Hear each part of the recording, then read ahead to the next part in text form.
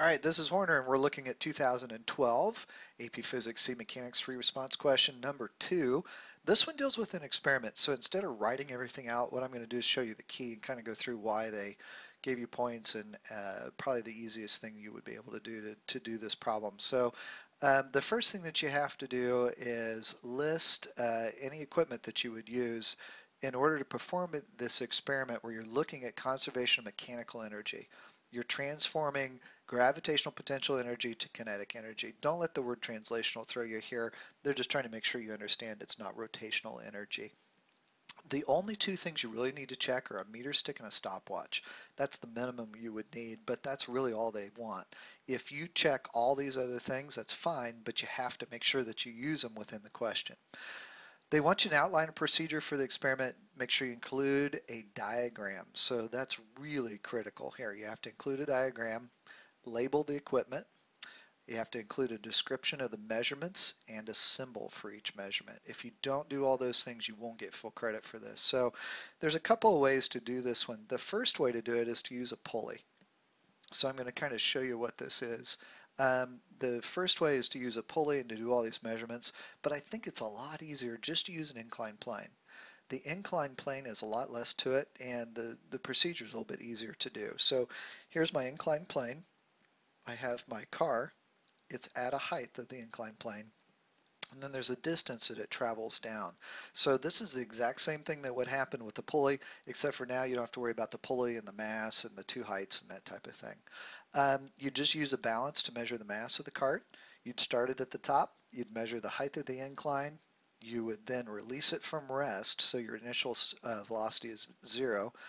You then use a stopwatch to have uh, figure out how long it takes to get down to the bottom, and then you measure that distance. So really that's all you need for this part of the problem.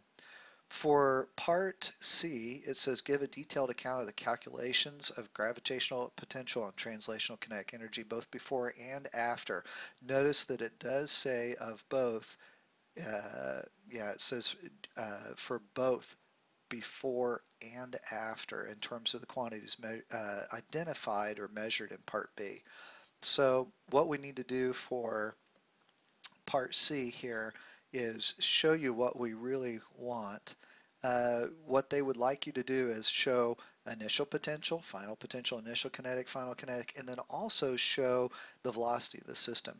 Notice that the answer they got for example one and example two that we're going to talk about basically the same equation. So our initial gravitational potential energy here is just the height of that ramp times the mass of the car times gravity. There is no final potential because it's down at the bottom. The initial kinetic is zero and the final kinetic is just one half mvf squared. Because acceleration is constant, we know we can use dy is equal to one half gt squared. Uh, some things kind of cross off there. Um, so we're left with this equation, d is equal to one half of the, of the velocities times time. Because um, you're just doing average velocity, it makes it a lot easier.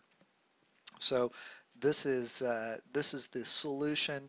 You get uh, you actually get six points for that. So you have to be really careful that you include everything that is here. Next part of this problem is letter D. Uh, after your first trial, they show that your energy actually increased during the experiment, which we know we can't have. Uh, they want to know what happened and then explain kind of why that would affect it. Um, so for letter D, we just need to say something like you accidentally pushed the cart. Um, there was a rubber band that was attached to the cart underneath you didn't see. There's a small motor. I don't, you know, all kinds of things. But if you said there's an unintentional push, you have to tell what it does.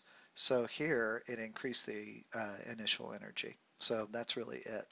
For the last part, letter E, uh, they just switch it on you. So instead of energy increasing, energy decreases. If you didn't make any math errors, they want you to go ahead and talk about what's going on. Include references to conservative and non-conservative forces. So remember, conservative is like gravity, because if you go up, then it comes back down. Non-conservative forces would be like friction, because when I push a box this way, um, the box doesn't come back, so that's non-conservative. So let's take a look at what they suggest here for identifying a reasonable cause and then give an explanation. So friction on the object decreases speed, thereby decreasing the energy. I would probably add to that that it is a non-conservative force. So, uh, you know, you do, uh, you kind of have to follow what they ask. So this would be non-conservative. Um, it does not conserve, uh, it's not a conservative force at all. It doesn't go back to kind of where it began. And that is the end of this question.